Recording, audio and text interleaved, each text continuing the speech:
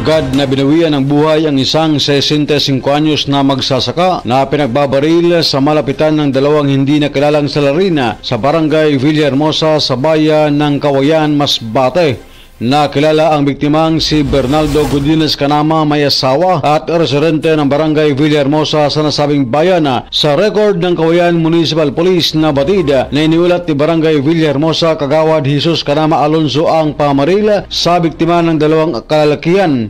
Ayon pa kay Kawayan Chief of Police Major Ronnie Coral na batid nila sa salaysay ni Ginang Carmela Kanama may bayan ng Pinaslang na habang nagpapahinga ang kanyang asawa sa duyan may dumating na dalawang kalalakihan at kinausap ito.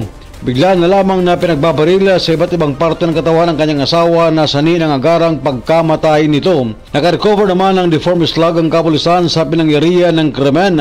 Samantalang patuloy pang inaalam ng kapulisan ang pagkakakilanlan ng mga tumakas na salarin at ang motibo ng pamaslang. Kasama nyo sa Aramen Masbate, Radyoman Ram Season, Tatak Aramen.